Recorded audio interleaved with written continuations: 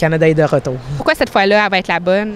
Euh, ben, parce que l'atmosphère de l'équipe, euh, on a des jeunes qui sont revenus puis qui nous ont ramené cette croyance-là. On a des coachs pas mal motivés puis prêts à tout faire. Puis je pense que l'équipe, euh, on a la maturité puis aussi on a tellement vécu plein d'affaires de changements puis d'instabilisation dans les derniers trois ans là, que, tu sais, genre, on n'a même pas eu le temps de penser, de stresser pendant trois ans. Puis là, on est arrivé puis on a eu le temps de focuser sur qu'est-ce qu'on avait à faire. Puis là, on est prêt à à avancer.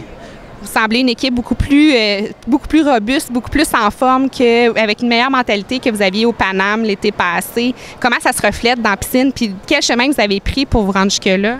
Bien, c'est sûr que quand tu continues à te faire piler dessus, piler dessus, un moment donné, il y a quelque chose, il faut que ça leur remonte. Puis le moral, un moment donné, ça a juste dit, ben regarde, on a, on a le choix. On a six mois de dire que tout le monde qui est venu à soir pour nous encourager, en plus qu'il y en a d'autres partout dans le pays qui nous encouragent puis qui croient en nous, on a le choix. On a on peut dire, ben on laisse faire, puis on n'essaie pas de se pointer au calife, ou on, se branche, puis il y a six mois, puis n'importe quoi peut arriver. Qu'est-ce qui va vous faire démarquer, selon toi, dans la piscine contre ces autres forces-là que vous allez devoir affronter? Je pense que c'est euh, le cheminement qu'on a eu. Euh, je pense que c'est la croyance aussi, puis euh, tout ce qu'on a vécu en équipe, puis l'espoir que nos coachs aussi qui nous ont amené, des jeunes coachs motivés, puis tout le cheminement qu'on a eu dans les derniers dix ans de l'histoire de Water Polo Canada, je veux dire, de ne pas se qualifier deux Jeux olympiques. Je pense que, ce feeling-là, on l'a déjà, fait que nous, on, embarque là-dedans avec un feeling qu'on sait c'est quoi, mais là, on va aller chercher l'autre côté de ça. On est prêt à toute éventualité. Bien, c'est sûr qu'ils vont douter parce que là, le Canada a changé euh, de système, on pourrait dire, de tactique de jeu euh, trois fois dans un cycle olympique. C'est quand même gros. Fait que eux, ils sont préparés sur des vidéos de l'année passée où ce qu'on jouait plus un système italien.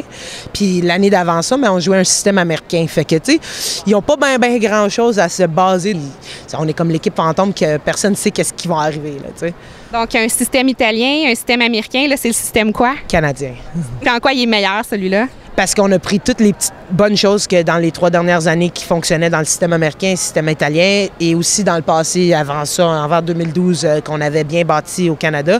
Euh, je veux dire, le Canada, on est très bon défensivement en des avantages aussi. Fait que des choses où on est allé rechercher aussi puis rebâtir dans notre équipe puis euh, vraiment jouer plus en équipe puis euh, le feel du jeu. Fait que tu sais, on a vraiment retrouvé le, sens de jeu euh, style canadien. Honnêtement là, je vais te dire les Américaines. Tout le monde dit tu les Américaines, les Américaines. Puis tu sais, j'ai hâte de les affronter avec l'équipe qu'on a puis la, la, la belief puis le, le, bon en bon québécois le chien qu'on a puis on est prêt à y aller là. Je pense que j'ai hâte à les affronter puis montrer à tout le monde qu'on est capable de jouer du bon water polo puis on est au même niveau que tout le monde, que les champions du monde.